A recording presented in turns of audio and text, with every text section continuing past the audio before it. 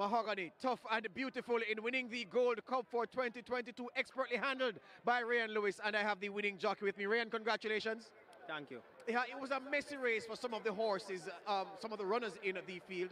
Take me from the gate. What kind of race did you have down the backstretch? Uh, Well, um, I just break him and um, put him in a good position. And a half mile, I just take time, move him, and on the top of the lane, I ask him for everything. How well did he go down onto the pace? They went 23 to 46 flat. Was that too far? Did you have to urge him to go down or did he go down easily? Well, he was pulling me into it, you know. So I know we have a lot, lot in him. Based on the race plan, the race instructions, uh, did, it, did the race go based on how you planned it? Well, yes, you know. And turning for home, you were on the rail, challengers outside. How well did he travel for you over the final quarter?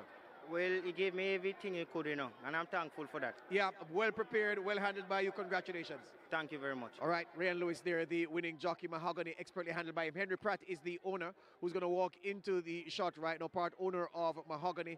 Uh, Henry, this horse had some disappointments in his three year old campaign. We all remember what happened in the classics. Uh, not quite what the script, well, what, the, what, what your script would have dictated. But he's matured since then, and he's at his very best now. And how well did you rate what he did just now in the Gold Cup? Well, I tell you, this is certainly the most pleasing win. Um, he was handicapped, in my opinion, out of the race. And I mean, that's just a display of pure heart today. Um, you know, he gave weight all around to horses who had beaten him. As you know, we even lodged a, a, an objection. Yes. And, um, but that wasn't, that was, you know, turned down. But so I'm so pleased. This is such a fulfilling victory. I am, know, The form book noted that he finished lame when beaten last time out. Um, what, what- was that? Was that a major setback to overcome in preparation that- for this? Well, I- I've heard about that first when I um, read it in the book. so that was actually so. no, we have that. I don't know. Well, well, there you go. Say. All But. So, in terms of the race plan, given the weight that he was carrying, given the Right. quality of his rivals, and Right. the weight that they were carrying relative to him, what was the plan that Reyan Lewis was to execute today? Well, you know, the trainer give the give gives the plans, but uh, my understanding was that you know he would just be in the race, but not too far behind, not up front, but not too far behind, and go for them at the four, which is exactly what Reyan did. He you know rode a beautiful race, as as, as he always done for me. I mean, he rode She's a Wonder for me in the Guineas um, last year, and um, so he did a great job. Uh, and of course, I have to congratulate the training team. Um, Ian and the and the you know goat, all the guys at the stable, excellent job. And I'm so pleased. And finally, for all the for, for some of the disappointment that you've had with this horse, does today make up for everything else that has gone wrong? Well, December 3rd. December 3rd, the Mute Mile. This is just a- an appetizer for that. Here you, Mr. Great. Pratt. All right, Congratulations. thank you. Henry Pratt there, the winning owner. Ian Parsard is standing by in the wings, the trainer of Mahogany. And uh, uh, I mean, I can say that it has been a tremendous training feat to get this horse here with this weight. Ian, when you looked at the handicaps, we know you lodged an objection and then that was, was, was denied. Then you had to plan to win this race with 57 kilos. What did you sit down with the team and plan to execute? Very simple. Um, mahogany, well, first of all, thanks be to God. I mean, we continue to do very well, and kudos to the groom and everybody at the team. Um, Indian, who is the assistant at the stable, kudos to everyone. Uh, to be honest with you, George, Mahogany is just a very special horse. Really and truly, we don't try to do anything different with him. We try to keep him happy, present him for the race day, and then, you know, we give the jockey the job to do. Today, Reyan Lewis, who is riding him, I think, for the first or second time in his life, rode him absolutely perfect. Um, I was really concerned about the weight. There's so many very good horses that he's giving lumps of weight around. I didn't, honestly, I didn't think he was going to win this race, but we are still aiming to win the race. When I see him going to the half mile, the position where he was, she's a one that was setting the splits. Um, the real dangers to me with the lightweight were behind him. I knew he was going to use his pace at the three furlong and then kick at the top of the lane, that they were going to be in trouble. And it just happened that way. I think how the race ran today suited Mahogany, and it probably didn't suit some of the better horses. Yeah, they, they, it- I was saying to someone off camera that it was a messy affair for several horses. But 23-2 for the first two furlongs, then 46 flat. And Reyan said he was pulling him to get at those fractions. That must have been a moment when you were a eureka moment for you then.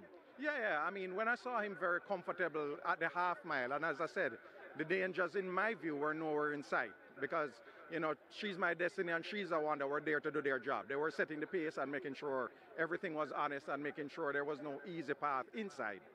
after they did their job, you know, Mahogany had his job to do, and he did it with the rider perfectly. Yeah, he, he, he's, a, he's a tough lad, a big lad. You, we, it's well documented the issues that he had, what you've had, and the team keeping him fit.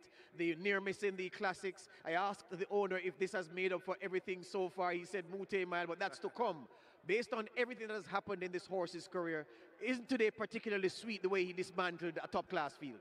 Yeah, very, very satisfying. I mean, you know, when he when he encountered Calculus, although he was a lone speed, I mean, he distanced those horses at a seven and a half furlong race. I mean, Mahogany is just really super special.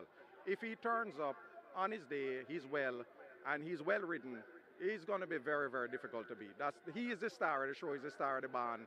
It's as simple as that. The last thing to ask you is this: You must be going now to pray and prepare to intercede with the people who will allot the weights for the Mute Mile to treat you fairly. No, the Mute Mile is actually a condition race. We have checked those handicaps already. Yes. Um, in fact, if he didn't win today, he would have been going with 55 kilos in the Mute Mile. Now that he has won this race, he will go with 57. But everybody else will be a lot closer to him.